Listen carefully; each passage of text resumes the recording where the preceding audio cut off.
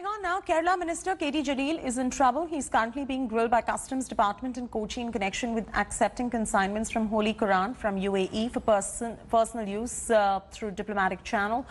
Officials have called it a case of violation of Customs Act as the state government officials accepted those items bought by the diplomats for their personal use by availing tax exemption certificate.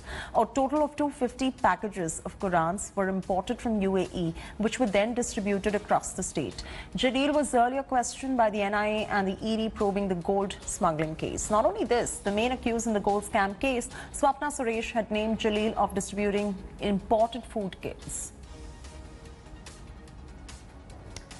Gopikrishnan Krishnanathan is now joining us for the latest. Uh, Gopi, you had KT Jaleel who was grilled earlier as well. The NIA and the Enforcement Directorate had also grilled him. But this time around, it's about a different case altogether. If you could just bring us up to speed.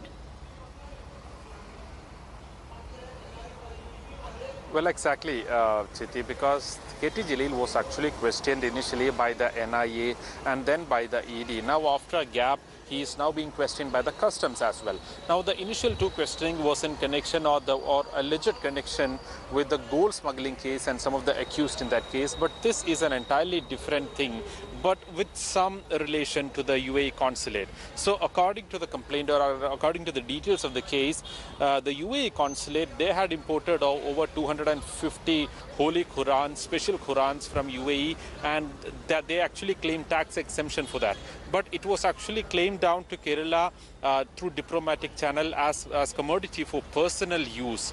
But however, it was later it was later revealed that these Qurans were actually brought into Kerala to be distributed among the poor Muslim families during the holy month of Quran along with the food kits which were distributed to them.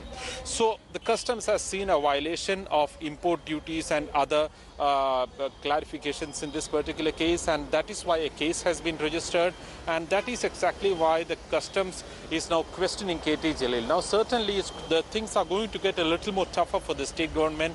They already have the former principal secretary of Chief Minister M. Shiv Shankar who is arrested and being questioned by the ED. The uh, ED has also summoned uh, yet another person, very close uh, official in the Kerala Chief Minister's office, but the questioning did not happen because he tested positive. Now again, one of the senior ministers or one of the important ministers in the cabinet being questioned by a central agency. So certainly things are getting really difficult for the left government here in Kerala at the moment. All right, leave it at that. Moving on now. Hello everyone, this is Rahul Kanwal here. Hope you enjoyed this video.